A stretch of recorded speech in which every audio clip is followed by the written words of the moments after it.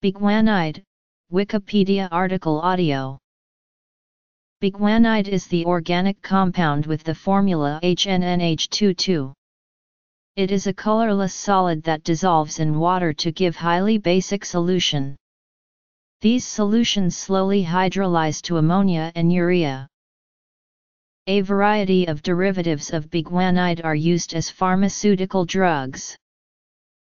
Biguanidine drugs Anti-hyperglycemic agents The term biguanidine often refers specifically to a class of drugs that function as oral anti-hyperglycemic drugs used for diabetes mellitus or prediabetes treatment. Examples include Metformin, an asymmetric dimethylbiguanidine. Buformin, a butyl derivative of biguanidine. Phenformin, a phenethylated biguanidine. History Galega officinalis was used in diabetes treatment for centuries. In the 1920s, guanidine compounds were discovered in Galega extracts. Animal studies showed that these compounds lowered blood glucose levels. Some less toxic derivatives, synthalin A and synthalin B, were used for diabetes treatment, but after the discovery of insulin, their use declined. Biguanides were reintroduced into type 2 diabetes treatment in the late 1950s. Initially phenformin was widely used, but its potential for sometimes fatal lactic acidosis resulted in its withdrawal from most pharmacopoeias. Metformin has a much better safety profile, and it is the principal biguanide drug used in pharmacotherapy worldwide. Biguanides do not affect the output of insulin, unlike other hypoglycemic agents such as sulfonylureas and meglitinides. Therefore, they are effective in type 2 diabetics, and in type 1 diabetes when used in conjunction with insulin therapy.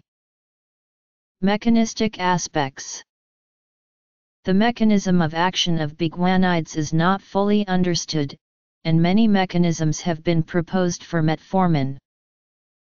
Mainly used in type 2 diabetes, metformin is considered to increase insulin sensitivity in vivo, resulting in reduced plasma glucose concentrations, increased glucose uptake, and decreased gluconeogenesis.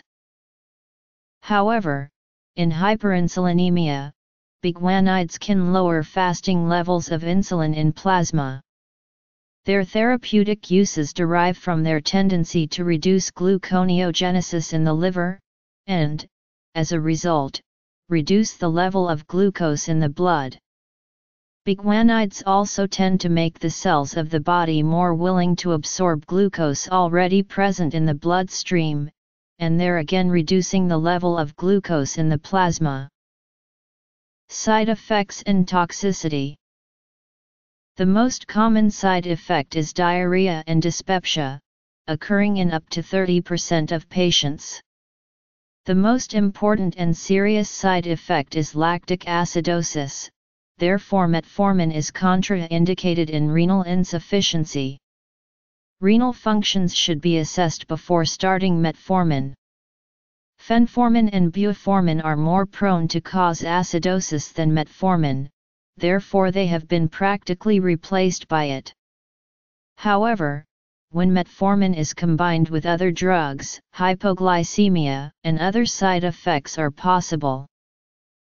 Antimalarial some biguanides are also used as antimalarial drugs. Examples include Disinfectants The disinfectants chlorhexidine, polyaminopropylbiguanide, polyhexanide, and alexidine feature biguanide functional groups.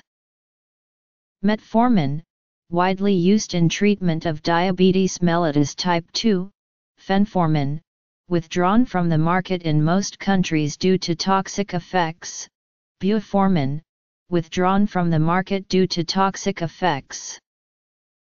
Proguanil, chlorproguanil